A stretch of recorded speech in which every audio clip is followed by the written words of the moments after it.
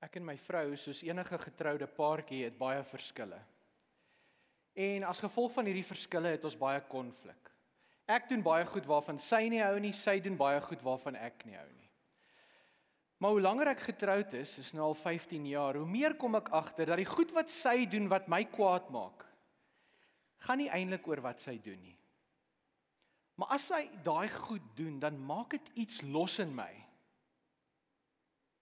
wat my verskriklik kwaad maak. So ons konflik is nie eintlik oor wat sy doen nie. Daar's iets agter dit. Daar's iets dieper. Daar's iets anders. Ek het 'n vriend wat die hele tyd nuwe motors koop, karre. En dan moet hy foto's neem en vir almal stuur of hy kom wys vir jou. En dan as hy vir jou hierdie nuwe mooi kar hoor, dan neem hy al hierdie komplimente in van, "Jogg, dis so 'n mooi kar, jy het so baie geld, jy's so great ou." Miskien is hy nie werklik lief vir daai motors nie. Miskien is daar iets dieper. Miskien is daar iets anders. En as ons nie die tyd kan vat om met hom te praat, sal ons dalk kan uitvind presies wat dit is. Baie keer praat ons oor goed, maar ons praat nie eintlik daaroor nie. Ons praat oor iets anders. Ons praat oor iets diepers. Ons praat oor iets wat agter dit staan. En vanaand as ons praat oor seksualiteit, dan praat ons eintlik oor iets anders. Ons kan nie praat oor ons seksualiteit as ons nie praat oor hoe God ons gemaak het nie. En ons kan ook nie praat oor ons seksualiteit as ons praat as ons nie praat van die God wat ons gemaak het nie. So vanaand drie goed wat ek wil aanraak rondom seksualiteit. In die eerste plek die dimensies. Daar is verskeie dimensies van ons seksualiteit. En baie min mense is eintlik gekwalifiseer om daaroor te praat. Daar's min mense wat kundig genoeg is om daaroor te praat. En daarom het ons in hierdie week gaan gesels met 'n seksioloog. 'n Dame wat 'n 'n langerige tyd 'n pad stap saam met ons personeel hier by Mosaik. So kom ons luister na haar vanaand. Sy gaan vir 10 minute met ons gesels op 'n video en hoor wat dit sy te sê. Kom ons luister saam. Ons is bevoorreg om 'n paar minute te kry in die dagboek van Dr Elna Rudolph. Sy's 'n mediese dokter en ook 'n seksioloog en sy 36 weke swanger. So ons waardeer regtig die tyd wat sy aan ons afgestaan het. Elna, baie welkom en dankie dat jy saam met ons kuier by Antioch. Dankie Herman, dit is lekker om hier te wees. Ja. Nou Elna, daar's baie wetenskaplike bevindinge rondom seksualiteit en baie navorsing word gedoen en jy het al met ons as personeel by Mosaïek kom gesels. Maar vanaand miskien net 'n kort oorsig oor die nuutste bewegings binne seksualiteit en miskien met van die goed wat jy werk in jou praktyk. Ja, die ding is as dit by seksualiteit kom, is dinge ongelukkig nie so wit en swart soos wat dit vir ons maklik sal wees om dit te interpreteer nie. Ek dien die Here en ek moes op hierdie journey gegaan het. Ek glo regtig dit is my roeping om mense te help met hulle seksuele probleme. En as dit net maklik was, jy weet, die vrou het hulle libido, ons behandel dit dit raak beter dan uh was daar niks kompleks daaraan nie, maar die realiteit is dat daar so is baie laag van kompleksiteit. En as ons gaan probeer om met 'n te wit en swart lens daarna te kyk, dan gaan ons baie mense baie seer maak. Hmm en ek dink nie dit is die Here se hart nie. Ja. So die model wat ons gebruik is deur 'n kollega van my Delien van Duyk ontwikkel en ons noem dit binaries in boxes or not. Want 'n mens wil nie mense in boksies gaan sit nie, maar omdat ons kop baie wit en swart werk, is dit vir ons makliker as ons verskillende boksies het. So ons vat seksualiteit en dan sit ons hom in vier boksies en party mense pas in 'n sekere boksie, maar op 'n ander plek pas hulle eintlik glad nie in die boksie wat jy sou verwag nie en dan help dit ons om hulle beter te verstaan. Okay. So as ons na die vier boksies kyk, dan is die eerste een geslag. Jy weet ek is nou swanger en elke mens vra vir my, weet jy wat is die geslag? Yeah. Ja. En dan ehm um, sê jy natuurlik, dit is 'n dogtertjie of 'n seentjie. Die regte antwoord is om te sê dis waarskynlik 'n dogtertjie, mm. want dit lyk soos 'n dogtertjie. Dit wat ons op die sonar sien, ehm um, kan jy nou sien daar's vroulike genitalie. Ons het nou nie 'n genetiese toets gedoen nie, maar as ons 'n genetiese toets gaan doen, dan sal jy nou byvoorbeeld sien dit is 'n XX kromosoom wat beteken 'n dogtertjie, XY is 'n seentjie. Maar daar is ook interseks kinders wat XXY is of allerlei verskillende variasies daarvan. So almal pas nie noodwendig in die dogtertjie of seentjie klas nie. En party selfs al is jou gene in daai klas, word jy gebore met 'n mediese kondisie wat maak dat jou hormone nie in daai klas is nie. So jy het miskien dogtertjie gene, maar heeltemal seentjie hormone. Ja. En dan ontwikkel jy seentjie geslagsdele.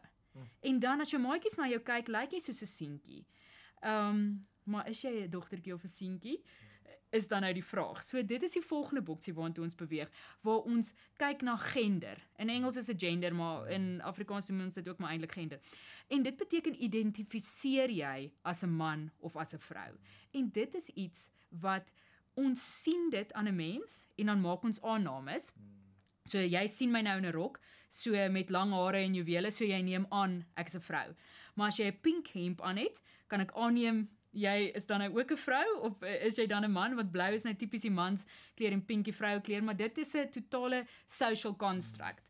En ehm um, jy weet mans kan net so mal wees oor pink byvoorbeeld. En mans kan blommerangskikking doen en vrouens kan in meer manlike werke staan soos ek wat 'n dokter is.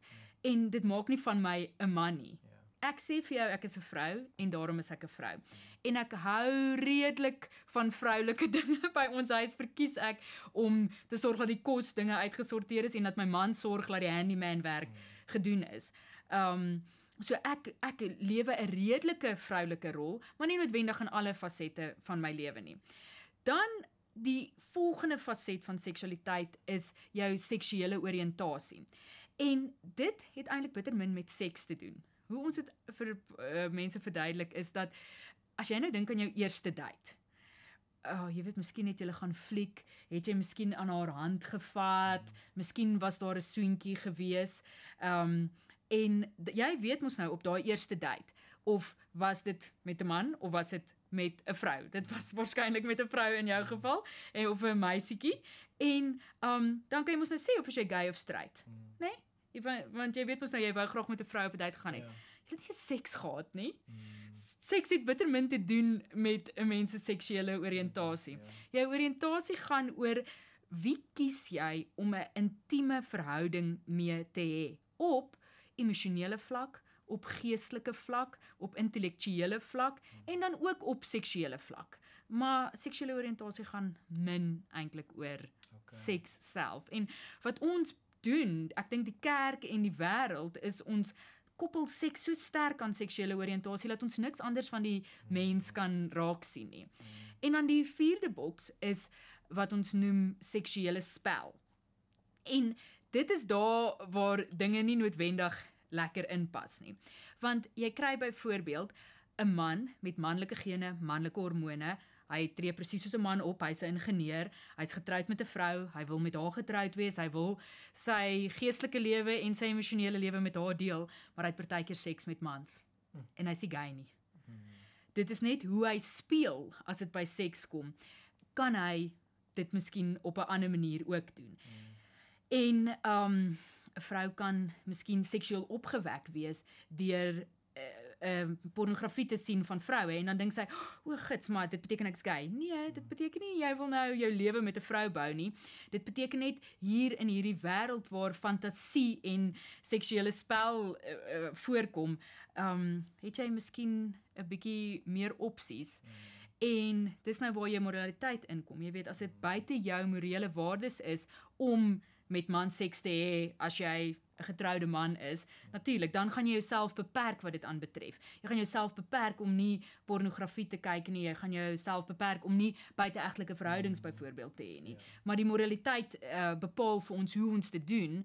Maar wat die persoon se inherente vermoë is en wat sy geneigtheid is, ehm um, jy weet hy kan en ek sien dit baie in die praktyk dat daar's ongelooflike skuldgevoel oor byvoorbeeld 'n ouetjie wat op hoërskool blootgestel was aan 'n ander ouetjie wat gemolesteer is as kind en toe het begin hierdie twee ouetjies 'n seksuele verhouding. En daar was tog plesier vir hierdie ou daarin maar dit maak hom nie gay nie maar omdat die wêreld sal dink dit maak hom gay maak dit hom mal hierdie gedagtes.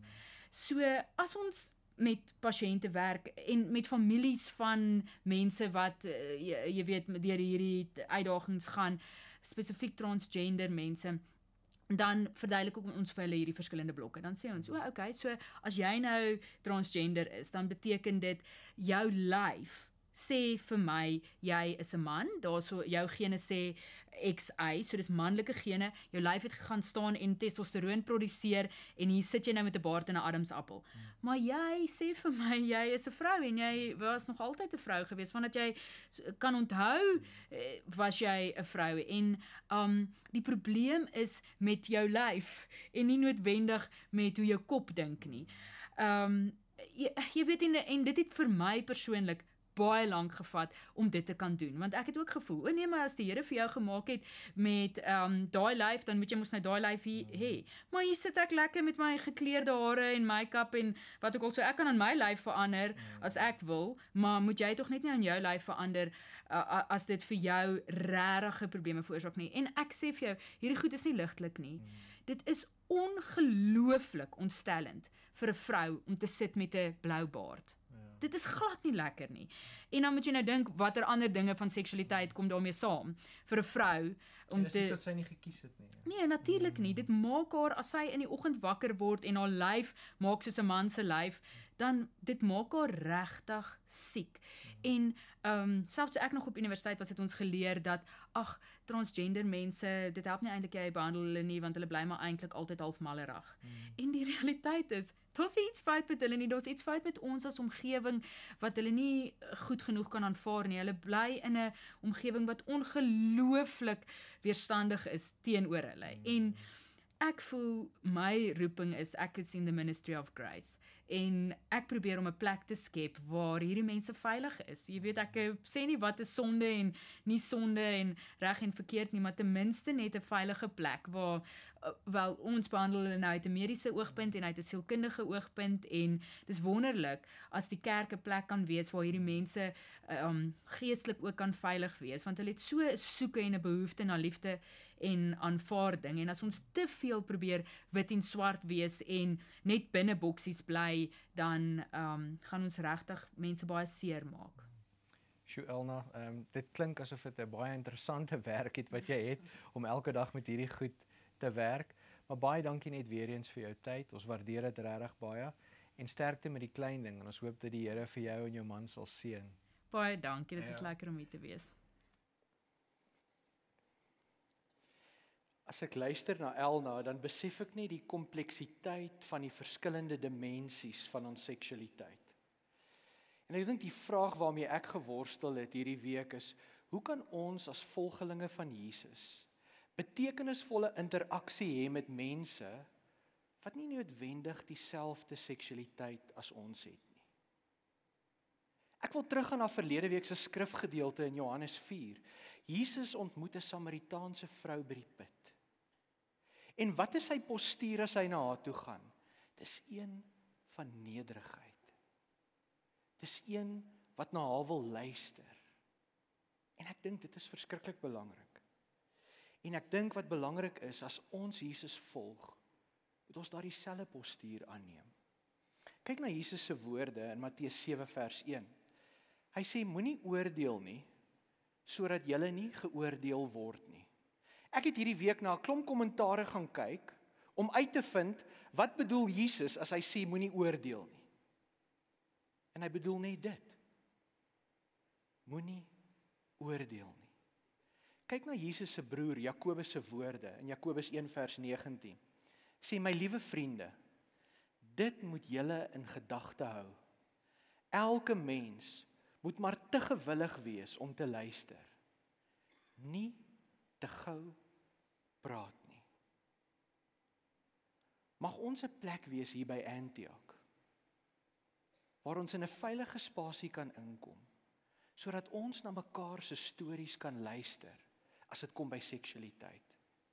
En sodat ons by mekaar kan leer en sodat ons saam kan groei. Want seksualiteit is 'n baie groot dimensie van ons lewe. Dit is interessant, navorsers sê dat ons as mense al hoe vroeër puberteit bereik, maar ons trou al hoe later. En dit veroorsaak 'n probleem. Ons leer ook dat baie meer mense in ons ouderdomsgroep hier by Antioch kies eers om hulle self te vestig in die lewe en hulle loopbane te vestig voordat hulle begin dink aan trou. En navorsing sê ook vir ons dat hierdie mense het geen intensie om in celibaatskap te leef totdat hulle trou nie. Want hulle trou eers op die ouderdom 35 tot 40. So dit is die tyd waarin ons lewe en dit is die realiteit waarmee ek en jy elke dag deel. Ons wil saam bly leer en verstaan hoe om betekenis te werk, betekenisvol te werk met ons seksualiteit. Want God het ons so gemaak. God het ons geskape met ons seksualiteit. Hy het dit vir ons gegee. En dit bring my by die tweede punt vanaand. Is dit is 'n groot misterie. Die misterie van ons seksualiteit. Kyk na Paulus se woorde in ons skrifgedeelte vanaand in 1 Korintiërs 6. Hy sê there's more to sex than mere skin on skin. Sex is as much spiritual mystery as physical fact. Paulus sê ons seksualiteit is 'n geestelike misterie. Ons voel baie ongemaklik om te dink dat ons spiritualiteit en ons seksualiteit eintlik een ding is. Ons hou daarvan om dit te skei van mekaar. Maar tog sê Paulus nee, dis dieselfde ding. Jou liggaam en jou gees is by mekaar. Ons kan dit nie split nie. Ons kan nie dualisties dink hieroor nie. En as jy kyk na geestelike literatuur, dan dink ek dit is baie hartseer om te sien hoe naïef geestelike uh, literatuur is as ons begin praat oor ons seksualiteit en ons spiritualiteit. Dit is interessant, daar's ook baie min geestelike definisies oor seksualiteit. Maar kyk hoe mooi definieer Ronald Rolheiser seksualiteit in sy boekie The Holy Longing.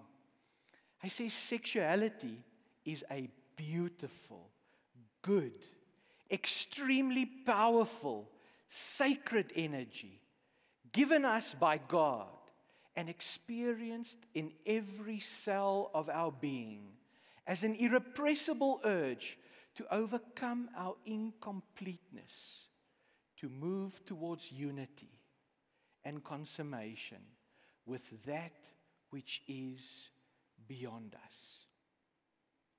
Weet julle wat beteken die woordjie seks? In Latyn beteken dit afgesny. En Rolheiser sê ons word gebore in hierdie wêreld afgesny. En dit is wat ons ervaar.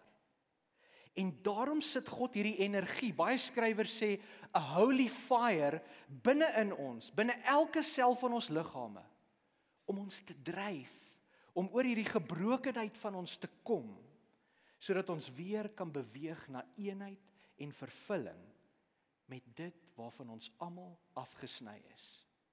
En meeste van ons spandeer 'n leeftyd om weer iets van daardie heelheid te ervaar. Baie van ons soek dit in ons werk. Baie van ons soek dit in besittings. Baie van ons soek dit in seksuele verhoudings en 'n klomp ander ervarings. Is interessant. Rolheiser sê ook in sy boek dat is eintlik wreed om hierdie energie te ontvang en ons is nie emosioneel volwasse genoeg om dit reg te bestuur nie. Maar hoe begin ons om hierdie energie reg te bestuur? Dit begin met 'n wete dat hierdie energie wat God in ons geplaas het, is bedoel vir meer as net 'n seksuele daad. Hierdie holy fire waarvan die skrywers praat, is vir meer as net fisiese seks. sien, daar is mense wat glo dat ons seksueel soos diere is. Ons lewe op instink. Ek het hierdie week aan daai liedjie gedink, is bietjie ou skool. You and me baby, ain't nothing but mammals. Dis wat die Korintiërs geglo het. Hulle het gesê, "Hey, as jy seks wil hê, gaan na die tempel toe, kry vir jou 'n prostituut. Jy's soos 'n dier. Dis 'n instink wat jy moet bevredig. Maar Paulus kom en hy sê vir ons nee. Julle liggame is heilig. Julle liggame is deel van julle spiritualiteit. Julle kan dit nie losmaak nie. Dit is interessant Paulus sê ook in 1 Korintiërs 7 wat ons nou nie vanaand gelees het nie, dat ons is ook nie engele nie. Ons moenie dink ons het nie 'n behoefte aan seks nie. Want dis baie naïef. En dan leer ons verder by Paulus, as dit kom by die seksuele daad, moet dit altyd binne die regte konteks wees. Want as dit nie binne die regte konteks is nie, kan ek en jy groot skade ly. Kyk hoe praat Paulus daaroor. Hy sê since we want to become spiritually one with the master, we must not pursue the kind of sex that avoids commitment and intimacy, leaving us more lonely than ever. The kind of sex or this kind of sex can the kind of sex that can never become one. Hierdie is 'n groot deel van die misterie van ons seksualiteit. Dat as dit kom by seks en dis nie binne die regte houer nie, dis nie binne die regte konteks nie, dan verhard dit jou siel. Jou lewe begin disintegreer en dit lei tot 'n vernietigende alleenheid. En as baie van ons daar kom, dan soek ons meer seks. En dan voel ons net meer afgesny. En daarom glo ons, soos die eeueoue kerk, dat die regte konteks vir seks is in 'n huwelik waar daar eksklusiwiteit is, waar daar toegewydheid en intimiteit op alle vlakke is en dan ook die seksuele. Die ironie is partykeer is ons in huwelike waar hierdie aspekte nie is nie. En dan het seks dieselfde impak op ons. Is vernietigend. Dit sny ons net verder. Paulus help ons om te besef daar is 'n verbondsverhouding waarbinne die seksuele daad hoort. Maar hierdie seksuele energie wat ons ontvang het, is meer as net vir seks. Dit moet ons lei na 'n heelheid toe. En ons kan beweeg na daardie heelheid as ons besef dat hierdie energie dryf ons eintlik nader aan God en om saam met God te kan skep. Deel hiervan is dat ons deur ons seksualiteit ouers kan word. Maar ons kan op baie ander maniere saam met God skep en saam met hom verantwoordelik wees vir hierdie wêreld. So ons seksualiteit hierdie kragtige energie wat God in ons plaas. As ons groei met dit tot heelheid, dan besef ons dat hierdie energie, hierdie holy fire is nie net vir ons eie bevrediging nie. Maar hierdie energie is vir ons gegee om saam God te skep en deel te kan hê aan die skepping van ons wêreld. Hoe lyk jou prentjie van seksualiteit. sien die media gee vir ons spesifieke prentjies. Die top liedjie verlede jaar en julle het hom almal gehoor op die radio. Dis 'n liedjie van the Chainsmokers, Closer. Baby pull me closer in the backseat of your Rover. Ken julle die liedjie? Ek het die fout gemaak om die musiekvideo te gaan kyk. Moet dit nie gaan kyk as jy nog nie gekyk het nie. Maar dis die beeld wat ons kry as ons dink aan seksualiteit. Maar ons beeld moet verander. Ons beeld moet weer heel word. Ons beeld moet baie groter word as dit tot wat die wêreld seksualiteit gereduseer het. Vanaand wil ek net vir jou 'n paar prentjies wys van mense wat seksueel heel is. In die oomblik waar hulle is. Moeder Teresa, 'n non wat nooit seks in haar lewe gehad het nie. Maar sy het hierdie energie van God gebruik om die melaatses, die siekes, die wat weggegooi is in te neem en om hulle te versorg. 'n prentjie van seksuele Heelheid. Volgende prentjie. 'n Oupa en 'n kleinseun. 'n Oupa wat die moeite doen om tyd te maak vir sy kleinseun.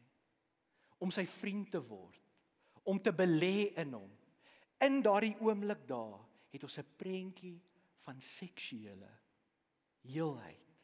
Volgende prentjie. 'n Ma met 'n pasgebore baba. En hierdie ma moet skielik leer om te cope met hierdie nuwe wese in haar lewe. Nog altyd het die lewe net oor haar gegaan, maar nou moet sy haar eie prioriteite laat gaan, want hierdie kind is nou haar prioriteit. Het jy al ooit gesien wat 'n ma kan opoffer vir 'n kind? 'n Prentjie van seksuele heelheid. En ons laaste prentjie. Enige iemand wat hierdie energie gebruik wat God vir ons gegee het selfloos om hierdie wêreld 'n beter plek te maak en om eerder in ander mense se lewens te belê is mense wat op pad is na seksuele heelwording. Hierdie energie wat God in ons geplaas het is 'n misterie. En ons moet leer om dit te werk sodat ons kan groei en sodat ons kan heel word is verskriklik belangrik in ons lewens. Hierdie energie dryf ons terug na God van wie ons afgesny is. Ons seksualiteit se grootste dryf is eintlik om weer by God uit te kom, want hy is ons grootste verlange. En dis my derde punt vir vanaand.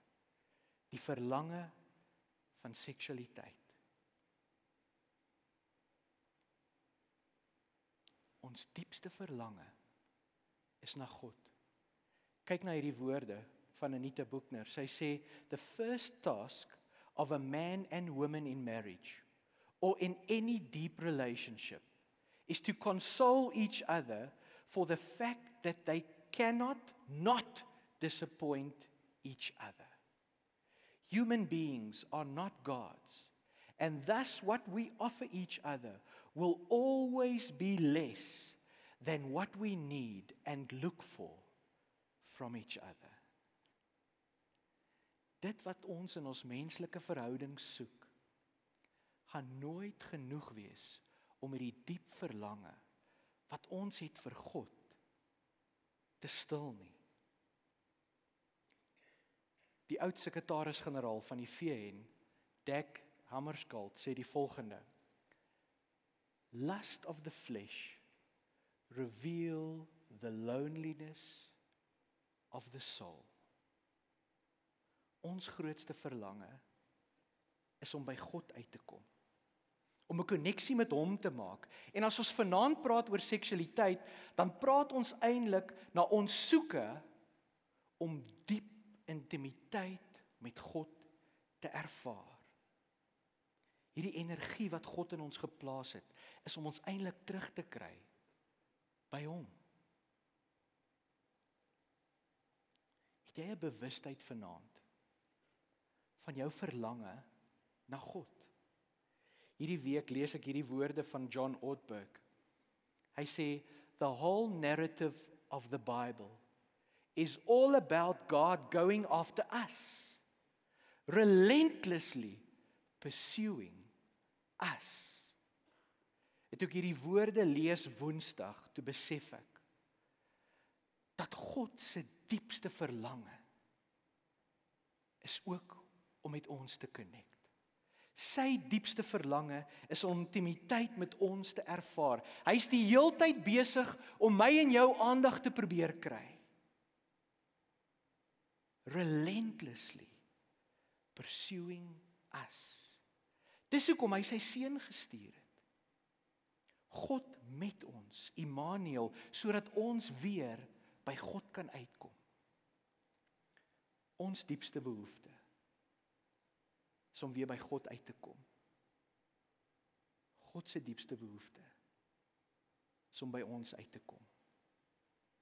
En om dit vanaand vas te maak, gaan ons saam die nagmaal gebruik. En vanaand is die nagmaal 'n herinnering aan Jesus. Jesus wat heel was in elke dimensie van sy lewe. Jesus wat heel was geestelik en Jesus wat heel was seksueel. 'n God wat mens geword het, wat gesterf het aan die kruis vir my en jou, wat opgestaan het uit die dode, wat die dood oorwin het vir my en jou sodat ons vir 'n ewigheid intimiteit met hom kan ervaar. Ons gaan die nagmaal hier voor bedien en jy's welkom om uh, in die rye vorentoe te kom en vir jou van die brood te kom neem en van die wyn. En ek wil vra vanaand as jy by jou sitplek kom, praat met God oor wat die verlange in jou hart is op hierdie stadium. En mag ek vra, wees eerlik met God. Wees eerlik met God oor wat jou verlange is. En as jy die brood neem, onthou, jy is deel van Jesus se liggaam.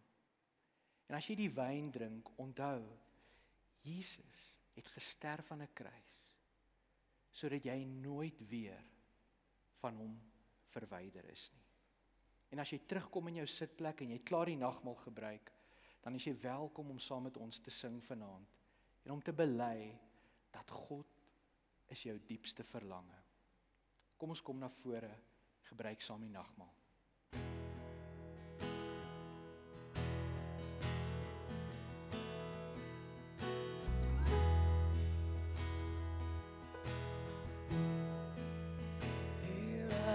to worship.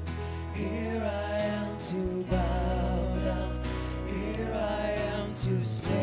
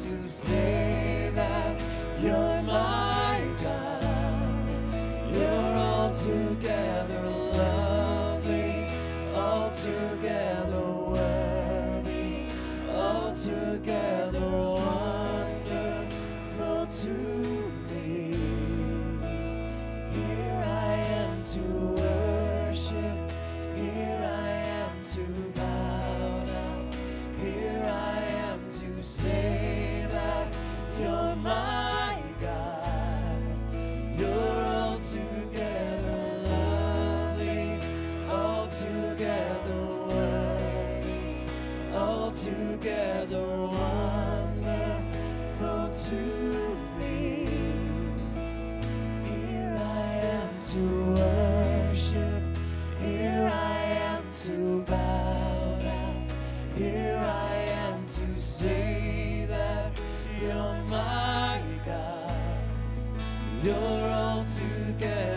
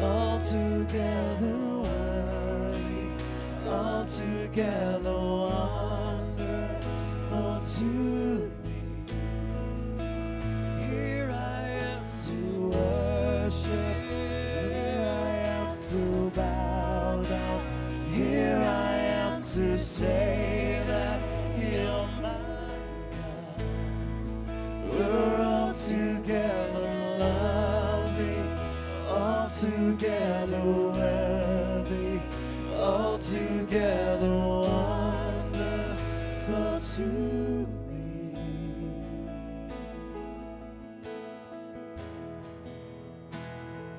Dink um, ons as personeel hier by Antioch is bewus dat as ons praat oor hierdie onderwerp seksualiteit is daar soveel pyn, daar's soveel onsekerheid, daar's soveel bitterheid by baie van ons en ook blydskap. Daar's so wye spektrum van emosies as ons praat oor seksualiteit.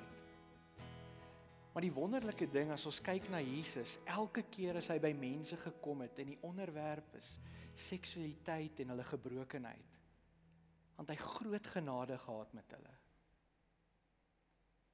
In Johannes 8 word 'n vrou gevang terwyl sy oorspel pleeg. Sy het met ander mans geslaap. En hulle bring haar na Jesus toe om haar te stenig. En Jesus sê die persoon wat sonder sonde is, kan die eerste klip gooi. En hulle almal loop weg en Jesus vra, "Het hulle jou nie veroordeel nie?" En sy sê, "Nee." En Jesus sê, "Ek veroordeel jou ook nie." Hy sê, "Maar ek het 'n beter plan vir jou lewe. Ek het 'n beter visie vir jou lewe. Gaan en sondig nie meer nie." Jy sit vanaand dalk hier met groot skuldgevoelens. Miskien was jy swanger as 'n tiener en jy het gegaan vir 'n abortus. Sukkel nog steeds om dit te verwerk. Miskien sit jy vanaand hier en jy sukkel met jou seksuele oriëntasie. Jy voel skuldig daaroor. Jy weet nie met wie om te gaan praat nie. Miskien sit jy vanaand hier en jy's in 'n huwelik. En die huwelik is seksueel dood. Daar's geen intimiteit nie. Miskien as jy onlangs deur 'n egskeiding voel afgesny. Voel God is nie meer saam met jou nie. Miskien as jy enkel lopend en jy wonder gaan ek ooit die geleentheid kry om seksuele intimiteit te ervaar binne die konteks van 'n huwelik. Ek wil die woorde van Paulus gebruik. Jesus se genade is vir jou genoeg. En ons weet hierdie onderwerp is baie sensitief. Daarom gaan ons nie mense vra om vorentoe te kom dat ons vir hulle bid nie. Maar maak asseblief hierdie week kontak met ons as jy met ons wil gesels. Ons e-posadres is antioch@mosaic.com. En sal ons sal dit baie diskreet hanteer en seker maak ek kry die regte persoon om 'n pad saam met jou te stap. Kom ons sit net so dan bid ek vir ons. Here Jesus, dankie dat u genade vir ons genoeg is. En as ons vanaand na u toe kom, waar ons is, Here, weet ons dat u ons daar ontmoet met u genade.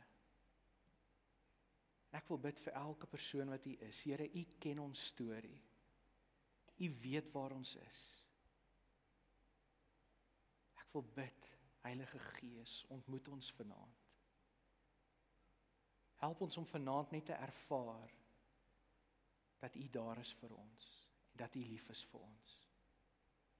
Here, dankie vir hierdie energie, hierdie heilige vuur wat U in ons geplaas het. En help ons as 'n gemeenskap hier by Antioch om dit reg te bestuur, om dit reg aan te wend. Help ons om baie groter en beter prentjies te kry as die prentjies wat ons sien in die media. Help ons, Here. Ons vra dit in Jesus naam. Amen. Ontvang die seën van die Here. Genade op genade op genade. Jesus se genade ontmoet jou vanaand waar jy is. Amen. Julle is welkom om deur te beweeg na die piazza waar ons lekker gaan saamkuier. Daar's weer musiek en lekker kos en koffie om te drink. Geniet die res van julle week verder.